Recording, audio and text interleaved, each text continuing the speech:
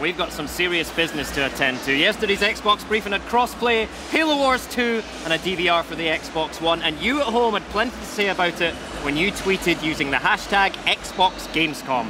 Now we're sitting down with Xbox head honcho Phil Spencer to follow up and answer some of your burning questions. Are you ready for these, Phil? What exactly is a honcho? Well, you. Honcho. You are the epitome of a head honcho. I know. Welcome to our show at Gamescom. This looks great, right? Yeah, Brilliant it's fantastic. Yeah, the work we've done with the daily bringing uh, the Xbox news to the fans. We did it at E3. It's great to be starting it here at Gamescom. It's uh, really great. Well, it's a pleasure to have you here. Uh, we announced backward compatibility on the stage at E3. In fact, you announced it. Massive cheer. How did that ridiculous. feel for you? Yeah, it was. Uh, I've said this. You know, the people they were they turned around and they looked at the monitors, so they actually knew what I was going to say before I said it. Spoilers. And the crowd just went ridiculously. I mean, it, the passion of the fans, the fans that I've met. Uh, starting at E3 this summer, I was at Minecon. I was in China Joy last week. Here at Gamescom, I mean, our, our, Xbox fans, I think, are the best, and they've just really raised the energy of everything that we do. You've done so much traveling. You are in all the time zones at once. But yeah, speaking of backward compatibility, three million votes cast by our community yeah. for the titles they want to see on Xbox One.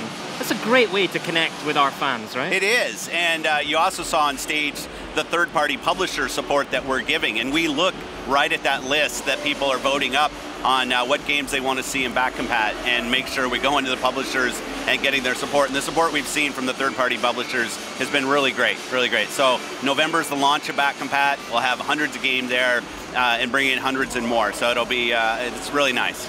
All right. Uh, we talked about Windows 10 a lot Yeah. in the briefing yesterday. Tell us about Windows 10 and why that's important to Xbox gamers. Well, first, you know, we had the launch of Windows 10 last week, and uh, well, we had 14 million people, like right out of the gate, upgraded, and the numbers just continue to fly, and really great response from gamers around the features in Windows 10.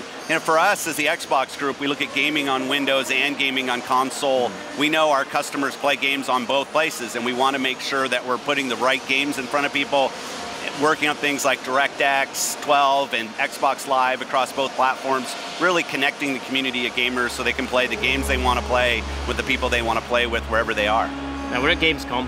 One of the reasons I love this show is that it's a gamers show, Yeah, right? absolutely. 400,000 fans coming through the doors uh, this weekend. It's crazy, isn't it? Um, and it gives us a chance to speak directly to our fans. We did a lot of that yesterday. Yeah. What did that mean to you? Yeah, the fans are, are why we do what we do. I, I've been in this job for a little over a year now, and definitely the direct feedback either through Twitter, uh, through events like this, just getting on Xbox Live and playing games with people has been instrumental in the way that we drive what we're doing with Xbox. We know that gamers want to play games. They're some of the most passionate people on the planet about their art form that they love.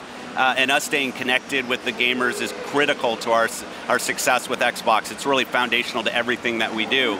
Uh, and I appreciate all the feedback they give. I, yesterday it was pouring down rain here in Cologne, and I went out and spent time with the people in line to get into our briefing, and you know they just are, are happy and tell you what they think. It's it's it's really the, one of the best parts about this job. All right, so all this summer we've been showing what we believe is the greatest games lineup in the history of Xbox.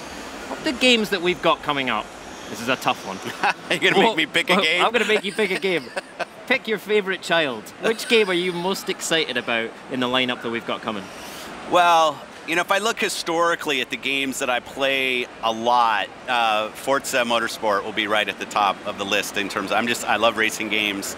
Uh, that's what I'm playing a lot of right now, and it's it's a lot of fun. And uh, watching, you know, they've added weather, so now we've got water puddles, and I'm, I was running Nurburgring actually in the rain in my uh, press room today. Uh, incredibly technical, and uh, it's, it's just you know really great to see Turn 10 and what they've been able to deliver. But I'm with you. Like I think the lineup of games we have this year is really incredible. The studio has stepped up. Halo 5, I thought looked just, and I'm, another game I'm playing a lot of right now. Uh, looks great. Fable's coming, gigantic coming. Uh, Rise of the Tomb Raider. The demo that they have of Rise of the Tomb Raider here behind closed doors is, is fantastic. It's a really strong lineup. Uh, and we started to show more of our uh, 2016 games, uh, and the response from gamers has been really fantastic. It must have been a thrill for you as a Halo Wars fan to reveal Halo Wars 2 as a surprise at the end yesterday. It right? was having Bonnie come out. You know, I love that Bonnie opened our E3 show. She was the first person that people saw on our stage. She was the last person people saw on our stage here at Gamescom. And Bonnie's been somebody I've worked with for a long time. But Halo Wars, uh, a franchise, I love the first version of the game. And now, you know, when you think about a, a, genre that can exist on console and on Windows, and all the opportunity that we have there, and we found a great partner in Creative Assembly with a long history in creating great real-time strategy games. It was the perfect opportunity for us. So when we saw that, you know, jump and you know, another 2016 game coming on top of the, the games that we've already announced. Phil, I'm going to let you go. I know you're a busy man, and I want to give you a chance to get ready for our boat party tonight because I want you on that boat, boat. party. Thank that's you right. so much.